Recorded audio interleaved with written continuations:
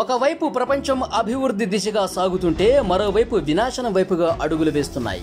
యుద్ధకాంక్షతో రోజు రోజుకి కొన్ని దేశాలు రగిలిపోతూనే ఉన్నాయి. తాజాగా ఇరాన్ నేరుగా ఇజ్రాయెల్ భూభాగంపై దాడికి దిగడంతో మధ్య ప్రాచ్యంలో ఉన్న ఈ పాత శత్రు దేశాల మధ్య ఉద్రిక్తతలు తారాస్థాయికి చేరాయి. ఇరాన్ ఇజ్రాయెల్ భూభాగాలపై నేరుగా దాడికి దిగటం చరిత్రలోనే ఇది మొదటిసారి. సిరియా రాజధాని దమాస్కస్లోని ఇరాన్ రాయబార కార్యాలయంలోని కాన్సులేట్ పై జరిగిన వైమానిక దాడి కారణంగా ఇద్దరు సైనిక జనరల్ జనరళ్ళ సహా ఇరాన్ రెవల్యూషనరీ గార్డ్స్కు చెందిన మొత్తం ఏడుగురు మృతి చెందిన సంగతి తెలిసింది. దీనికి ప్రతీకారం తీర్చుకుంటామని చెప్పిన ఇరాన్ చెప్పినట్లుగానే డ్రోన్లు మిసైళ్ళతో ఇజ్రాయెల్ భూభాగంపై దాడులు చేసింది. అయితే ఇజ్రాయెల్ ఏనాడు ఆ దాడులకు తామే కారణమని ప్రకటించలేదు. కానీ దాడుల వెనుక ఆ ఉద్దేశం ఉందని ఇరాన్ గట్టిగా నమ్ముతోంది. అంతకుముందు ఏళ్ళ తరబడి ఇజ్రాయెల్ ఇరాన్ పరోక్ష యుద్ధం కొనసాగించాయి. ఇరు దేశాలు పరస్పర లక్ష్యాలపై దాడులు చేసుకున్నాయి. కానీ ఏ దేశము ఈ దాడులకు బాధ్యత వహించలేదు. అసలు ఈ రెండు దేశాలు ఎందుకు శత్రువులయ్యాయి అనేది నిశ్చితంగా పరిశీలిస్తే ఇరాన్ ఇజ్రాయెల్ దేశాలు పంతొమ్మిది వందల డెబ్బై తొమ్మిదిలో ఇరాన్లో ఇస్లామిక్ విప్లవ కాలం వరకు మిత్ర దేశాలుగానే ఉన్నాయి. అయితే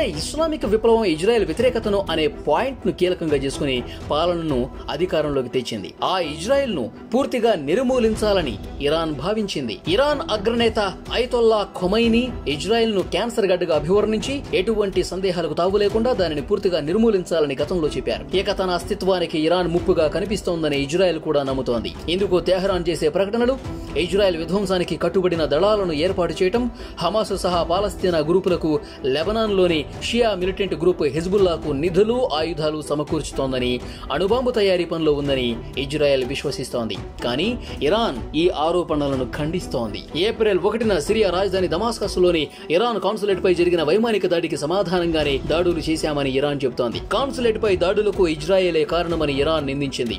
తన సార్వభౌమత్వానికి భంగం కలిగినట్టుగా భావిస్తున్నామని ప్రకటించింది కూడా. ఈ దాడులు తాము చేయలేదని ఇజ్రాయెల్ చెప్పలేదు. అంతర్జాతీయ సమాజం కూడా ఈ విషయాన్ని తేలికగానే తీసుకుంది. మధ్య ప్రాచ్యంలో అమెరికా ఇజ్రాయెల్ ప్రయోజనాలకు సవాల్ విసురుతూ ఇరాన్ ఓ నిరోధక అక్షాన్ని ఏర్పాటు చేసింది. ఇందులో భాగంగా తన మిత్రులతోనూ మిలిషియా దళాలతోనూ ఓ నెట్వర్క్ ఏర్పాటు చేసింది. లెబనాన్లోని హిజ్బుల్లా గ్రూప్ ఇరాన్ మద్దతు ఉన్న అత్యంత శక్తివంతమైన సాయుధ గ్రూపుల్లో ఒకటి. ఇజ్రాయెల్ హమాస్ మధ్య యుద్ధం మొదలైనప్పటి నుంచి సరిహద్దుల వద్ద ఇజ్రాయెల్ హిజ్బుల్లా గ్రూపు మధ్య కూడా పరస్పర కాల్పులు జరుగుతూనే ఉన్నాయి. దీనివల్ల సరిహద్దుల్లోని వేలాది మంది పౌరులు తమ ఇళ్ళను బలవంతంగా ఖాళీ చేయాల్సి వచ్చింది. ఇరాక్ సిరియా జోర్డన్లోని అమెరికా స్థావరాలపై దాడులు చేసిన ఇరాక్లోని షియా మిలిషియా గ్రూపులకు ఇరాన్ వెన్నుదనుగా ఉంది.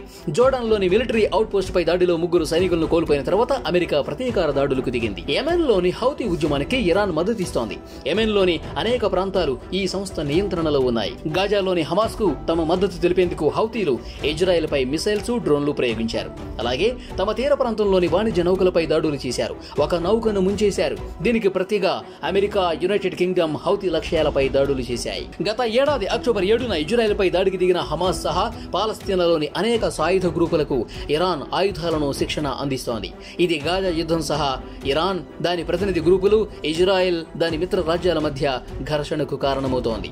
అయితే అక్టోబర్ ఏడు నాటి దాడులలో తన ప్రమేయాన్ని ఇరాన్ ఖండిస్తోంది. ఇరాన్ భౌగోళికంగా ఇజ్రాయెల్ కంటే పెద్దది. అలాగే తొమ్మిది కోట్ల జనాభా ఉంది. ఇది ఇజ్రాయెల్ జనాభా కంటే పదింతలు ఎక్కువ. ఈ లెక్కలను బట్టి ఇరాన్ గొప్ప సైనిక శక్తి అనుకోలేం. క్షిపణులు డ్రోన్స్ పై ఇరాన్ భారీగా ఖర్చు చేస్తోంది. దానికి విస్తారమైన ఆయుధ సంపత్తి ఉంది. అలాగే యెమెన్లోని హౌతీలకు లెబనాన్లోని హిజ్బుల్లా గ్రూపులకు కూడా చెప్పుకోదగ్గ స్థాయిలో ఆయుధ సంపత్తిని సరఫరా చేస్తోంది.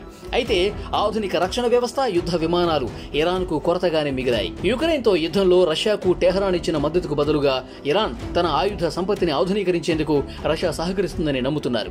ఇరాన్ రష్యాకు షాహీద్ డ్రోన్లను అందించింది. ప్రస్తుతం రష్యా వీటిని సొంతంగా తయారు చేసుకుంటోంది. అయితే ఇజ్రాయెల్ వద్ద ప్రపంచంలోనే అధునాతన వైమానిక దళం ఉంది. ఇజ్రాయెల్ వద్ద ఎఫ్ ఫిఫ్టీన్ ఎఫ్ సిక్స్టీన్తో పాటు అధునాతన F thirty five stealth aircrafts సహా కనీసం పద్నాలుగు ఎయిర్ క్రాఫ్ట్ స్క్వాడ్రన్స్ ఉన్నాయి. శత్రువుల భూభాగంలో దాడులు చేసిన అనుభవం కూడా ఇజ్రాయెల్కు ఉంది.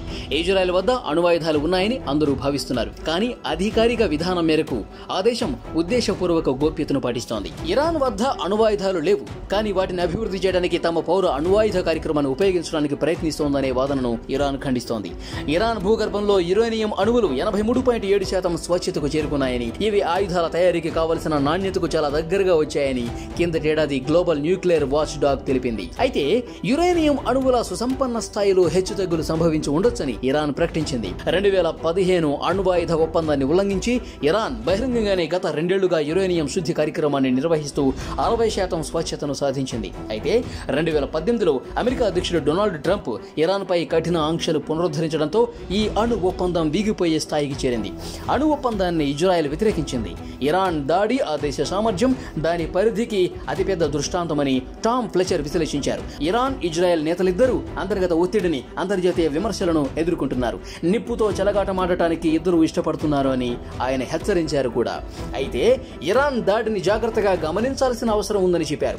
ఇరాన్ ఈ దాడులను ముందుగానే ఊహించేలా చేయగలిగింది. అందుకే వాటిని తేలికగా నిరోధించగలిగారు. కేవలం ఇది తన సామర్థ్యాలను ప్రదర్శించడానికి చేసింది. హిజ్బుల్లా ద్వారా కాకుండా ఇరాన్ నేరుగా ప్రతిస్పందించడం మంచి సంకేతమని ఆయన చెప్పారు. లెబనాన్ సాయుధ గ్రూపులను సరిహద్దుల నుంచి తరిమికొట్టేందుకు ఇజ్రాయెల్ సైన్యం దాడులను విస్తరించాలని కొంతమంది ఇజ్రాయేలీలు పిలుపునిస్తున్నారు. ఇరాన్ కోణంలో చూసినప్పుడు ఈ దాడి విజయవంతమైందని ఇజ్రాయెల్ మోసాన్ని టెహరాన్ బహిరంగం చేస్తోందని చాథమ్ టింక్ ట్యాంకుకు చెందినటువంటి నసం వకీల్ చెప్పారు.